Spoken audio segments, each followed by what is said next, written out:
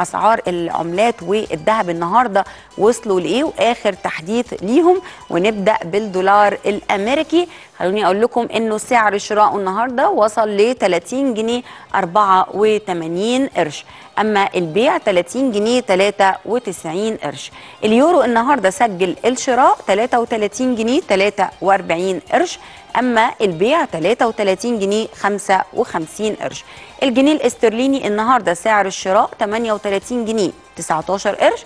أما البيع 38 جنيه 32 قرش. الريال السعودي سعر الشراء 8 جنيه 22 قرش.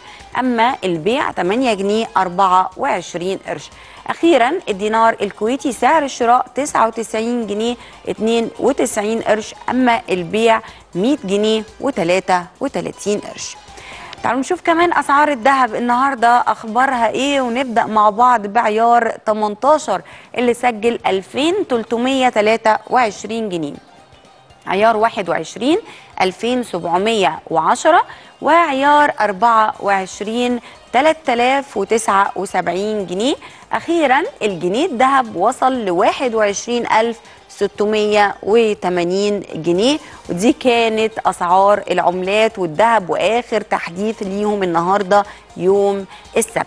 تعالوا بقى مع بعض ننتقل لفقرتنا الرياضية اليومية مجموعة كده من التمارين الخفيفة والسريعة واللي ممكن نعملها بسهولة خالص وإحنا قاعدين في بيتنا قبل ما نتحرك من البيت ومن غير ما نروح جيم ولا أي حاجة. جبنا لكم الجيم لحد عندكم. تعالوا نتابع مع بعض.